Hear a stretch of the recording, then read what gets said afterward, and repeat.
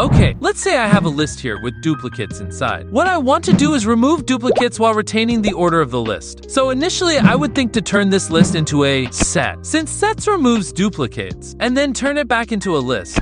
But sets don't maintain order, so this won't work. Probably the most common and readable approach to this is to create an empty new list, then say for item in my list. Then check if item not in new list, then new list.append that item. And this works. But today, I saw a really clever one-liner that does the same thing. So let's say new list is equal to dict dot from keys, then supply my list as the input. This will create a dictionary with the values in my list as the keys. And since dictionary keys must be unique, you'll see that duplicates are removed and the order is maintained. Now, we only want the keys here, so let's put dot keys at the end and let's turn this whole thing back into a list. So let's run this. And there we go. Duplicates are removed, and you'll see, as I keep rerunning this, the order says the same.